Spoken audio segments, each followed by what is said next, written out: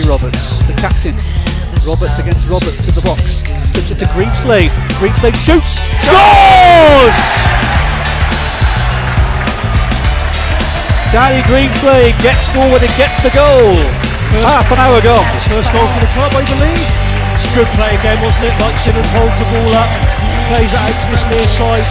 James Roberts makes a good run down the touchline, one on one with the defender again, stamps the defender up, waits for the runner. This time finds the correct pass.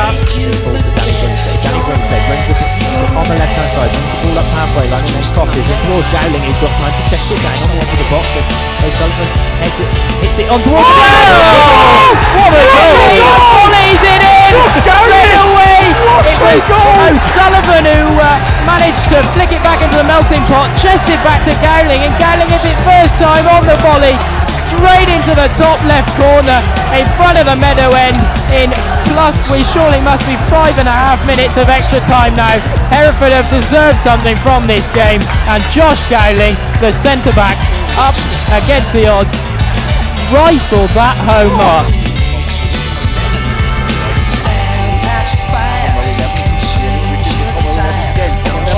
Colin Evans through on goal. He's just going into the area now. Can he get a shot away? He's left it away and he scores!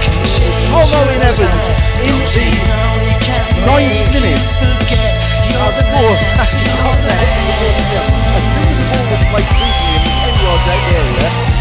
one thing on his mind, that was to take the ball into the area.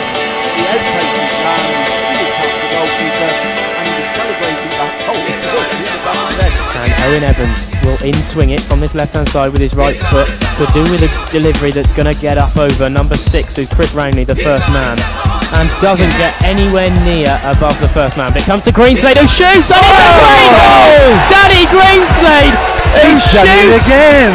from about 25, bordering on 30 yards out there. Clearance fell to him. He took a shot and nonchalantly just knocked it onto his left peg and then just hit it with that great left boot and it flew into the top left corner.